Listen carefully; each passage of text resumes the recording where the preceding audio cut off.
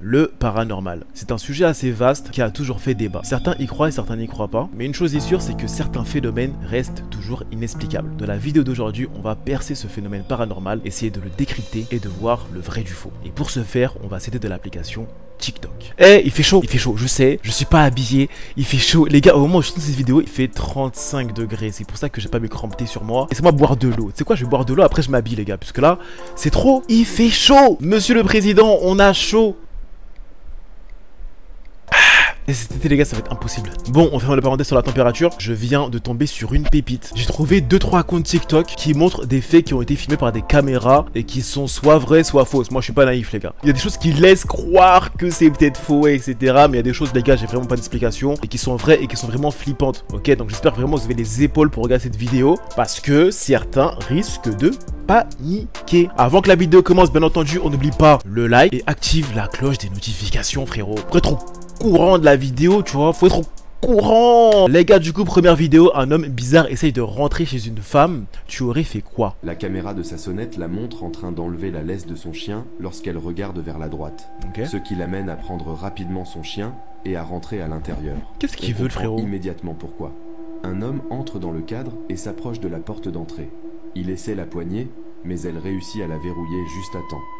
N'hésitez pas à me dire en commentaire si vous avez déjà, déjà vécu des situations qui font flipper. Je sais que j'ai parlé, j'ai fait une intro par rapport au paranormal, vraiment paranormal, c'est des choses qui sont vraiment inexplicables. Mais là, euh, c'est pas vraiment du paranormal, on va dire, c'est un fait, un truc un peu qui fait flipper, qui s'est passé dans la vie de cette personne. Dites-moi si vous avez vécu déjà une expérience comme ça, dites-moi en commentaire et enfin j'irai vraiment voir en commentaire. C'est toujours intéressant d'avoir les expériences des abonnés. Moi je kiffe en tout cas voir vos expériences, donc n'hésitez pas à raconter votre vie, je serai là pour vous écouter. Il est des gants.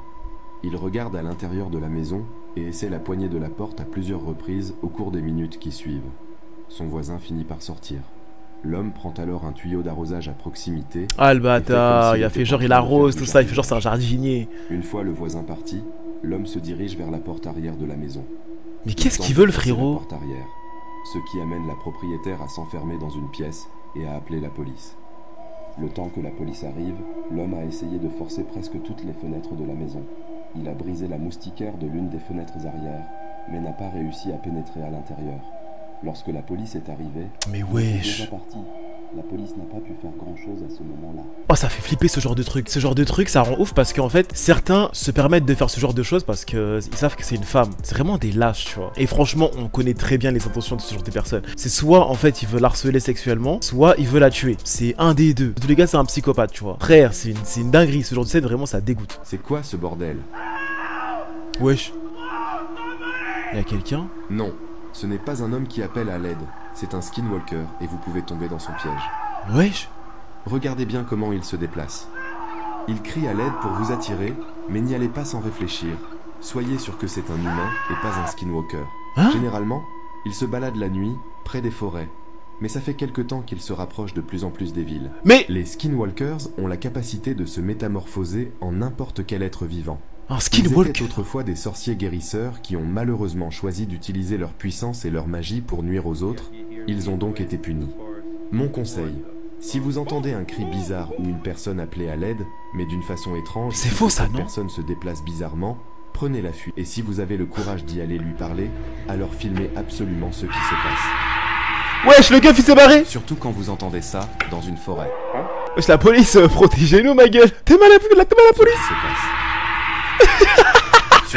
En plus, il a, laissé, il, a, il a laissé la collègue. Oh le bâtard. Ce qui se passe sur TikTok. Serbian Lady, Doppelganger, Skinwalker et même des véritables zombies. Des centaines de vidéos TikTok de chaque sujet sont postées chaque jour.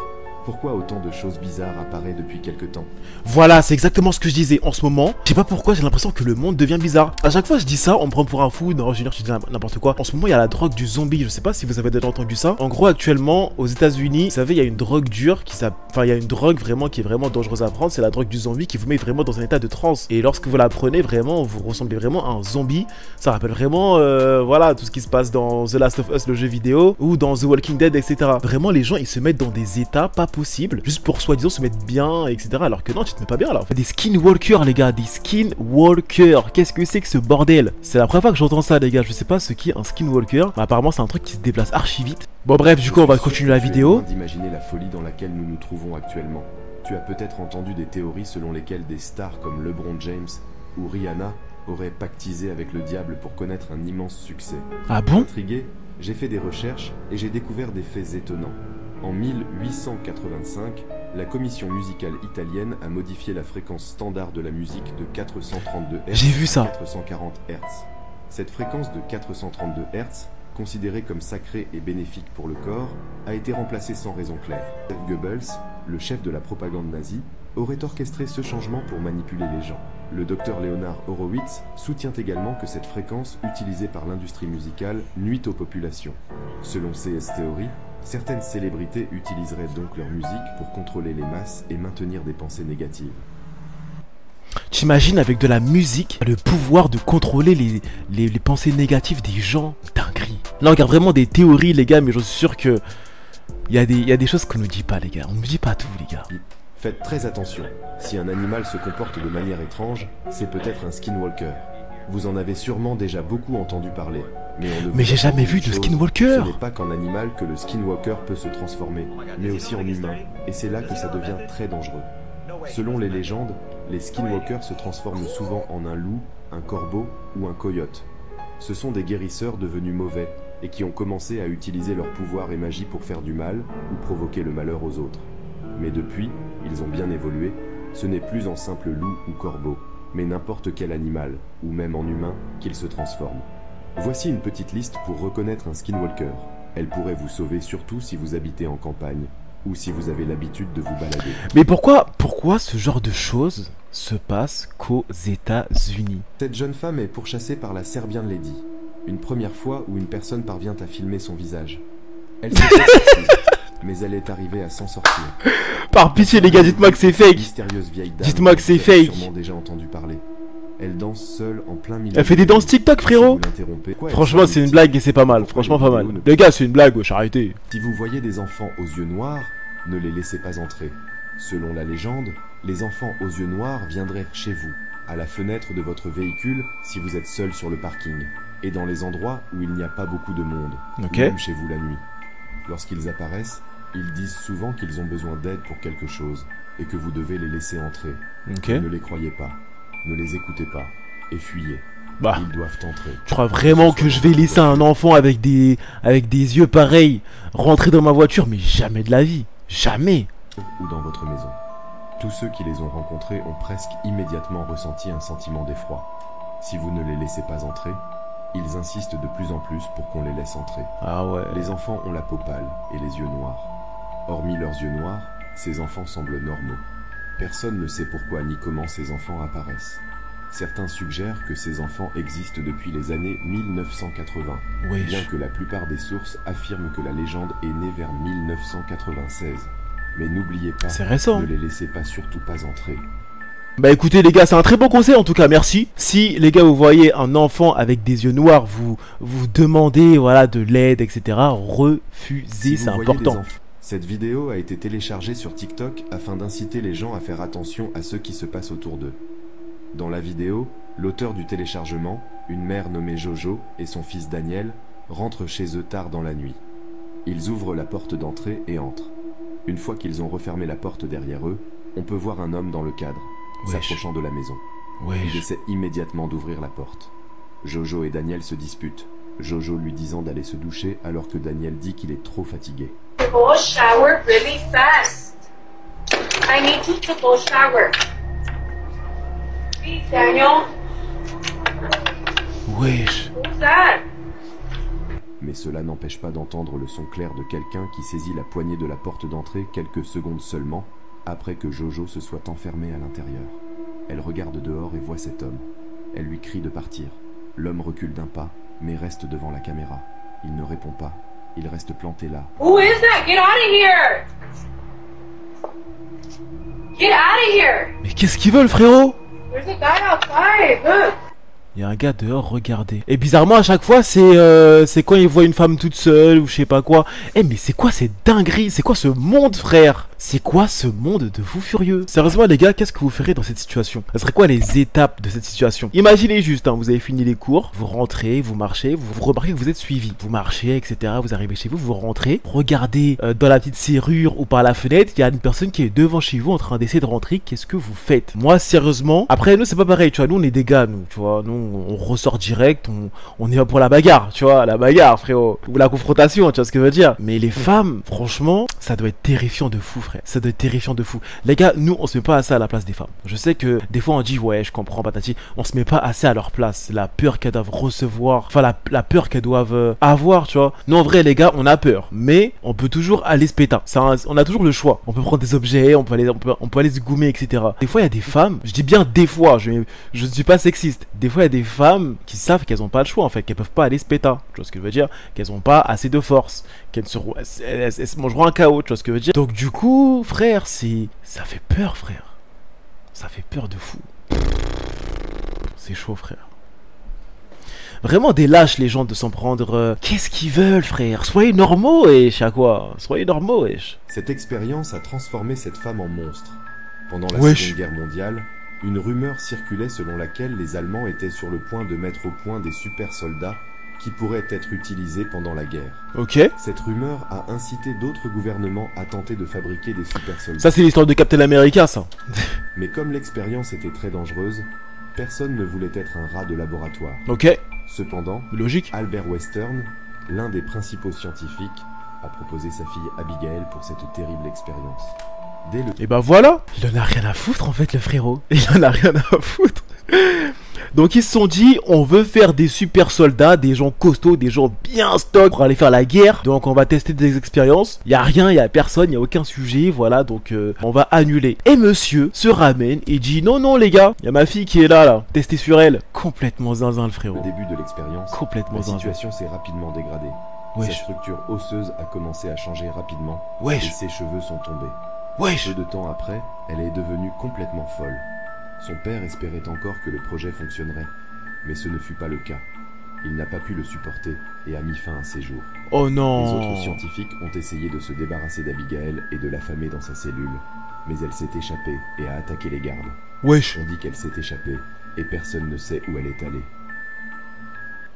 Oh la dinguerie frère, t'imagines tu la croises, elle fait flipper hein. Les Men in Black existent. Ils ont toujours été aperçus sur les lieux J'arrête cette vidéo. J'arrête cette vidéo. Non mais attendez, les Men in Black existent. On commence vraiment par ça? Des ovnis avaient été signalés, mais jamais personne ne les a filmés, sauf une seule fois. Il s'agit du seul enregistrement connu de ceux que l'on appelle les Men in Black, souvent liés à la dissimulation de témoignages d'ovnis. En 2012, l'équipe d'investigation des phénomènes aériens a obtenu des images de vidéosurveillance de l'hôtel Sheraton Falls View à Niagara Falls, au. Canada. Les images révèlent deux individus de grande taille, vêtus d'un trench coat. Mais ça veut pas dire que c'est les in Black, frère. Cette même année, Shane Sovar, directeur de l'hôtel, et un agent de sécurité ont rapporté avoir aperçu un ovni depuis les fenêtres de l'établissement. Quelques semaines plus tard, les deux individus mystérieux sont venus à l'hôtel pour confronter Sovar et l'agent, qui étaient heureusement absents.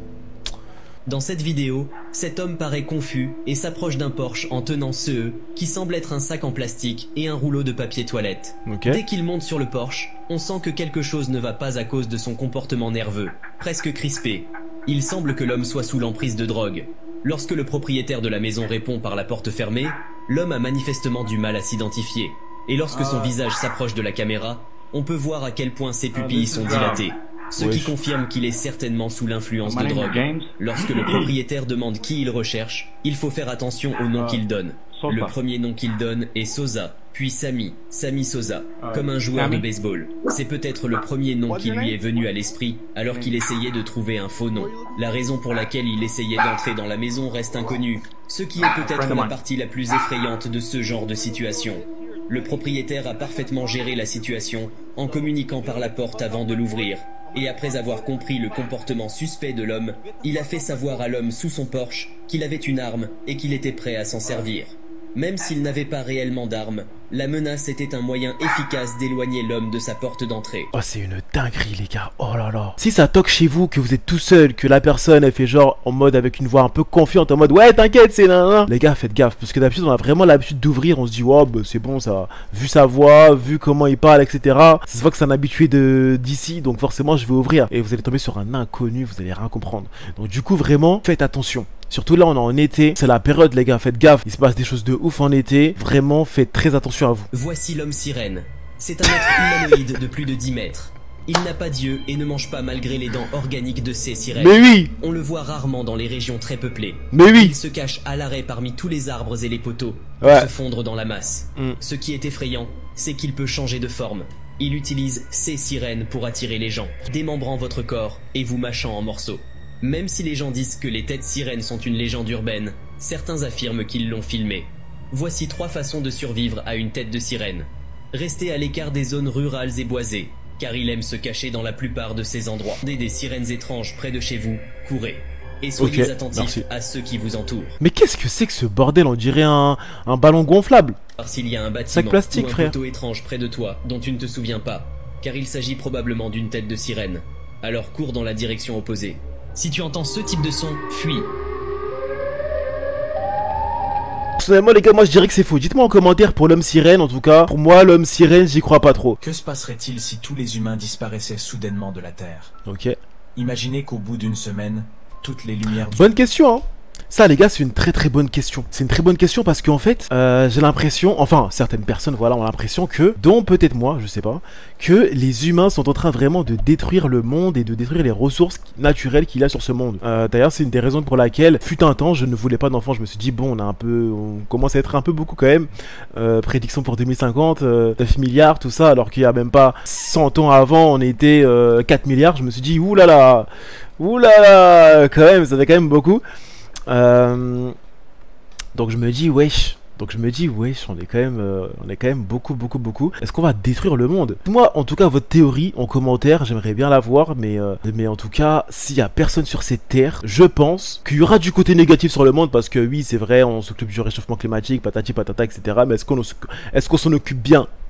Je sais pas. En fait, il y aura du pour et il y aura du contre. On va aller voir cette vidéo. lumières du monde s'éteignent. Pouvez-vous imaginer l'obscurité qui s'emparerait de nos villes? Les bâtiments, les routes et tout. Ce qui était autrefois un symbole du progrès. Déjà, il y aura grave moins de pollution. plus que des ruines silencieuses et sombres.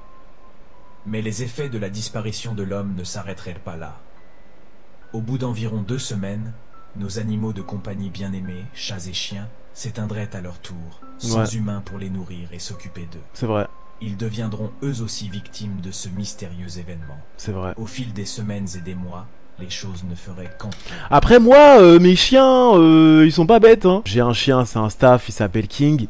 Lui, je pense qu'il va pas faire long feu. Par contre, j'ai Yuki, Yuki qui est un, husky de Sibérie. Vous savez, c'est des chiens en fait, c'est pas des chiens euh, créés par l'homme. Chiens vraiment primitifs, je crois. Le mot c'est. Et ce qu'il faut savoir, les gars, c'est que de base, les huskies, bah, ils vivaient très bien sans l'homme. Ils vivaient très bien sans l'homme. Et c'est d'ailleurs l'homme qui a pris les huskies pour essayer de conquérir le Canada parce que ça avait besoin de chiens de traîneau pour faire, vous savez, les transactions, tout ça, etc. Mais sinon, les huskies vivaient très bien eux-mêmes.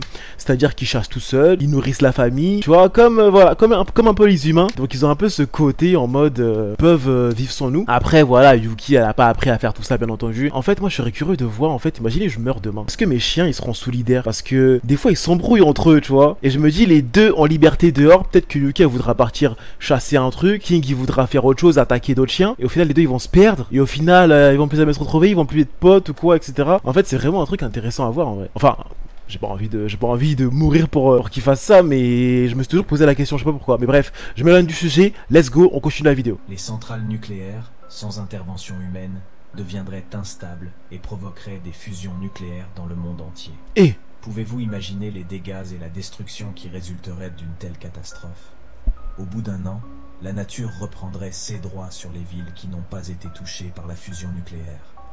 Eh ça me rappellerait grave euh, Last of Us. Parce que c'est vrai ça. Si on s'occupe pas du monde pendant un an ça, les routes elles vont être un peu comme The Walking Dead avec un peu voilà de de l'herbe sur les routes des arbres sur les routes etc ça va vraiment être un peu le bordel. Ça me rappelle un peu euh, Last of Us. Les arbres et les plantes pousseraient à travers les pavés, et la faune et la flore prospéreraient dans ce qui était autrefois une métropole animée.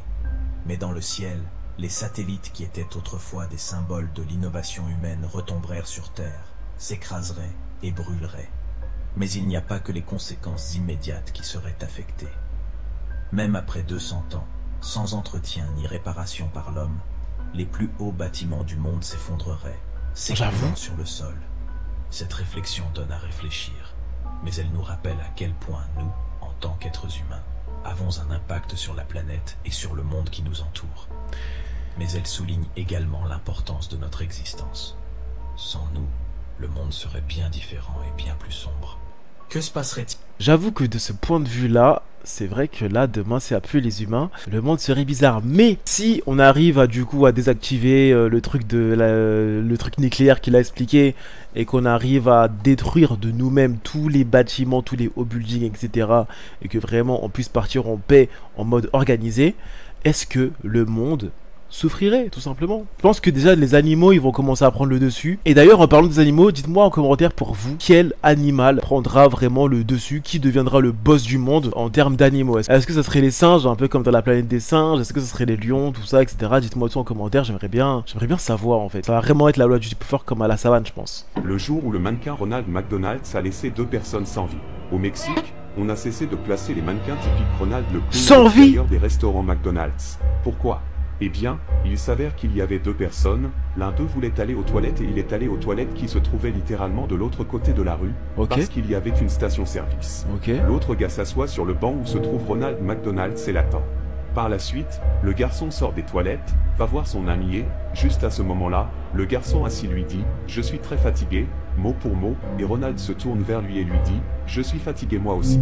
À ce moment-là, le garçon qui était assis a fait un arrêt cardiaque, et l'autre personne qui était allée aux toilettes est tombée dans le coma quelques jours plus tard. Après cette histoire, il est évident que le gouvernement a dû intervenir.